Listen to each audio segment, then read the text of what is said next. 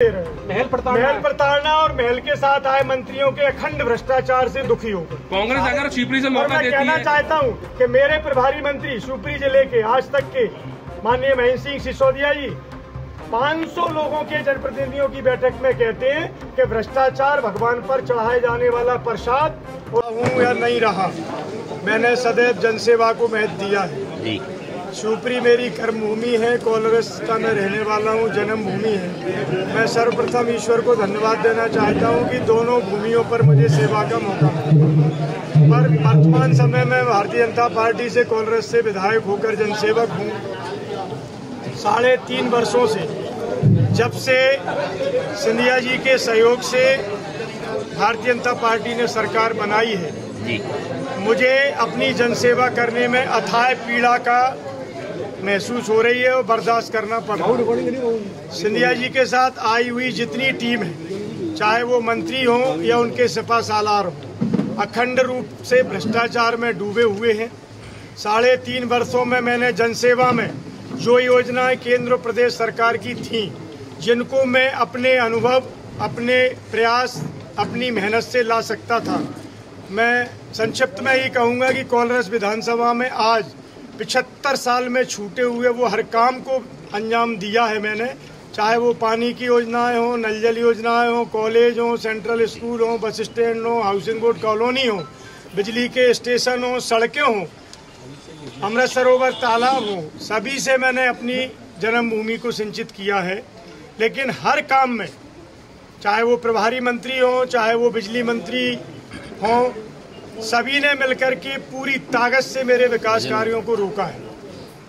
आज भी मेरे बिजली के जो दो सब स्टेशन है आगरा का उसको वर्तमान डीएफओ ने आधा काम होने के बाद रोक दिया है जिसे प्रभारी मंत्री और सिंधिया जी के लोग लेकर आए हैं।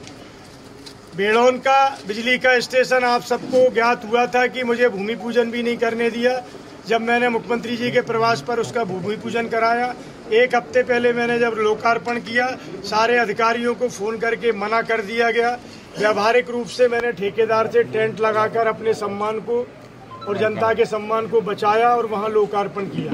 अनेक अनेक ऐसे उदाहरण मैं दे सकता हूँ कि पूरी ताकत से सिंधिया जी के मंत्री और उनके सिपा सालारों ने मेरे विकास कार्य को क्षति पहुंचाई है। यहाँ तक कि एक नहीं दो दो तीन तीन बार इन साढ़े तीन वर्षों में प्रभारी मंत्री या उनके मंत्रियों में मुझ पर फर्जी एफआईआर कराने की कोशिश की, चाहे वो मेडिकल कॉलेज का प्रकरण हो और चाहे वो अन्य अन्य कई प्रकरण हो। तो लगातार मैं अपने सम्मान को कैसे बचा पाया हूँ, राम जी की कृपा से मैं बहुत ज़्यादा आहत हूँ। इन सारी चीज़ों को समय समय पर मैंने, चाहे प्रदेश नेतृत्व तो भाजपा का हो, माननीय मुख्यमंत्री शिवराज सिंह जी चौहान हो, या जो भी हम नेतृत्व तो कह सकते हैं सभी को साढ़े तीन वर्षों में दर्जनों बार इस बात को मैंने कहा। और यहाँ तक एक डेढ़ महीने पहले शिवपुरी ज़िले की कोर कमेटी में संपूर्ण शीर्ष नेतृत्व के सामने मैंने केवल इतना निवेदन किया कि माननीय मुख्यमंत्री जी, साढ़े तीन वर्षों से मैं अपनी पीड़ा, क्षेत्र की जनता की पीड़ा आपके सामने रख रहा हूँ। लेकिन आप किस दबाव में हैं? मुझसे क्या भूल हुई है? पर मुझे लगता है कि शायद मुझसे ये भूल हुई कि मैंने माननीय जयभान सिंह पवैया जी का काम किया लोकसभा में। शायद मुझसे ये भूल हुई कि के पी यादव जी को जिताने में तिल बराबर मेरी सहयोग रहा। अगर ये भूल हुई है तो आगे से ये भूल मैं नहीं करूँगा। लेकिन कृपया करके जनता के विकास कार्यों को मंत्री न रोके। मंत्री जी से मेरी पाँच मिनट आपके साथ बैठक करा दें। ये साढ़े तीन साल में निवेदन करता रहा। लेकिन मेरे व्यस्ततम मुख्यमंत्री जी को मुझे पाँच मिनट का समय देने का प्रभारी मंत्री से चर्चा का नहीं मिला। और मुझे मजबूरन कोर कमेटी की बैठक में सीएम हाउस पर एक महीने पहले खड़े होकर, जिससे पार्टी शायद अभद्रता मानती। अगर विधायक अपने मुख्यमंत्री से बात नहीं कह सकता तो क्या मीडिया के सामने कहेगा, जो आज नौबत आई है। मैं नहीं चाहता था ये नौबत आए, पर मैं जनसेवक हूँ और मैं अपने मुँह से नहीं कहना चाहता कि राजनीति से 22 वर्ष में मैंने 22 रुपए का लाभ अर्जित नहीं किया किसी भी माध्यम से। अपने मेहनत की कमाई से, मेरे बेटों के व्यापार की मेहनत की कमाई से मैंने सारे चुनाव लड़े हैं, सारी जनसेवा की है। चाहे वो गौ सेवा की हम बात करें, चाहे मानव सेवा की करें, मैंने कॉलरस विधानसभा में अपनी सेवा के सारे प्रयत्न करने की कोशिश की है। पर जब मुझे लगा कि भारतीय जनता पार्टी में ग्वालियर चंबल में या ग्वालियर गुना लोकसभा में भारतीय जनता पार्टी हमारी बात को सुनना नहीं चाहती है। व्यक्ति विशेष और किसी परिवार के दबाव में मूल भारतीय जनता पार्टी के कार्यकर्ता को यहाँ कोई शरण नहीं मिलने वाली है। तो मुझे लगा कि मुझे अब निश्चित रूप से इस परिवार से पृथक होना चाहिए और इन पीड़ाओं के कारण मैं आज ये निर्णय ले रहा हूँ। प्रमुख कारण यही है। जी। दूसरा कारण है जैसे मैंने विधानसभा में शिवपुरी ज़िले के दो वर्ष से चल रहे चौरासी करोड़ के घोटाले की बात उठाई। विधानसभा प्रश्न के माध्यम से तो मेरी शायद पार्टी को ठीक नहीं लगा हो, पर मैंने चर्चा की। उस चर्चा में केपी सिंह जी भी बोले, कांग्रेस के विधायक।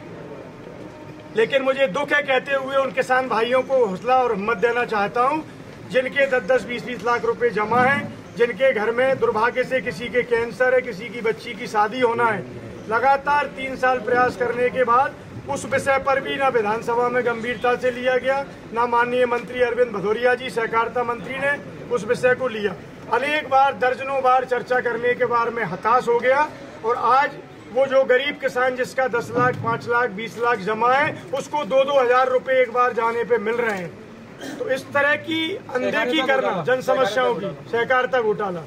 और चाहे गौ सेवा की बात करें, मैंने दो बार विधानसभा प्रश्न लगाए हैं पिछले एक सालों में कि गौ माता को केवल पंद्रह रुपए आप अनुमान देते हो और तीस रुपये मिलता है आपका उत्तर प्रदेश में। और पड़ोस के राज्य, कांग्रेस शासित राज्य, राजस्थान में भी इससे अधिक मिलता मिलता है। तो मैंने विधानसभा प्रश्न के माध्यम से भी गौ माता की चिंता करने की कोशिश की, क्योंकि मेरा विशेष लगाव है। और इस लगाव को आप महसूस कर सकते हैं कि धर्मपुरा आदर्श गौशाला में मैं अपने